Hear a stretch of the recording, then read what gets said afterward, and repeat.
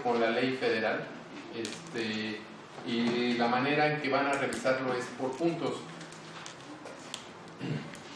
Tenemos fecha de inicio, el, unos van a ser de seis meses, el otro siete y el otro ocho meses para la conclusión de los, de los trabajos. Eh, bueno, ya es un avance, aunque bueno, esperamos un poco antes la licitación, ya es un avance. La fecha de inicio, como te comento, es 26 de mayo, inicio de los trabajos.